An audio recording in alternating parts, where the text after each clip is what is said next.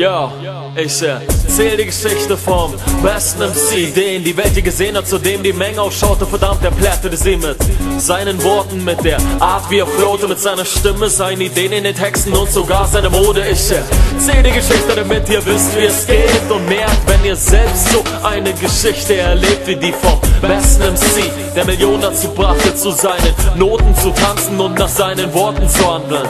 Er war ein einfacher Kerl aus der unteren Mittelschicht, ein junger Tauge, nichts mit Ehrgeiz, von denen es hier so viele gibt. Sein Vater war streng, wurde öfters laut und verpasste ihm Schläge. Später wollte der Sohn über seine Familie und all das nie reden, da wo drei jüngere Geschwister schon gestorben waren, bevor er selbst als viertes Kind überhaupt geboren war. Seine Vorfahren lebten in Hütten, er mit seinen Eltern am Wald hat, doch er wollte in die Großstadt, wo man die Wände bemalen kann.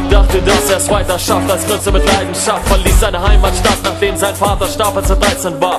Weil das mit dem Malen nicht klappte, nahm er sich andere Ziele vor, schrieb seine Gedanken auf und sprach sie durch sein Mikrofon. Und es hat nicht lange gedauert, da fand er ein paar Gleichgesinnte. So entstand dann auch eine Bewegung aus der Gang, die einst als Clique startete. Er und seine Crew kannten sich mit Waffen aus, fingen Stress mit anderen an und trugen es auf der Straße aus. So landete auch er im Knast und er hatte noch Glück dabei. Denn obwohl er Ausländer war, ließ ihn der Richter bleiben. Schob ihn nicht ab, sondern verhängte grad mal Gefängnisstrafen. Vor Gericht meinten sie, sein Verhalten wäre wirklich ehrenhaft. Und im Gefängnis las er der Bücher und hatte endlich auch Zeit, seine Skills zu verfeinern und seine Texte zu schreiben. Baute Kontakte auf, die nach der Entlassung noch eine Chance gaben, die ihn verehrten für das, was er mit ihnen zusammen noch vorhatte.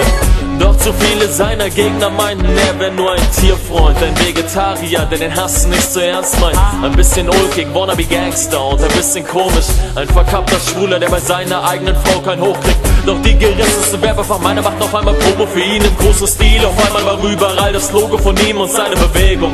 Einfach und eingängig, so wie die Botschaft direkt an die Zielgruppe gerichtet und sie noch dazu stolz macht. Er wurde zum großen Bruder und zur Vaterfigur. Idol, Ikone, gute Vorlage für Karikaturen. Doch nahm Rhetorikunterricht und dachte sich die Metaphern aus. Legte sich die Geschichten zurecht und machte sich paar Reime drauf. Es war wie ein Rausch. Er sprach für viele endlich das mal aus, was sie sich seit Jahren schon heimlich dachten. Endlich konnte es mal anders laufen.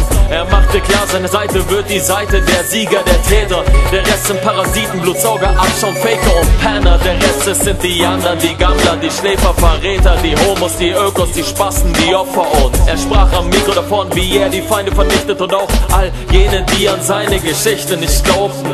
Aber die meisten dachten ja sowieso, so wie er. Er versprach für Ordnung zu sorgen, ohne Gewehr, doch mit Gewehr, wenn es sein musste. Seine Worte waren Waffen, so übertrug er über die Ohren Gedanken. Über Gedanken, die Taten, die Menschen hoben den Namen, treten durch, streckten die Hand, wenn er auf der Bühne da oben stand. Er verstand es, seine Fans hinter sich zu vereinen, bis sie stolz drauf waren, auf der Seite der Täter zu sein. Als diese alles Mögliche über die Opfer zu sagen, die Opfer zu jagen, die Opfer zu schlagen, bis sie die Opfer vergaßen. Und nicht wenige hielten ihn für ein echtes Genie. Du hast es erraten, er war der beste MC.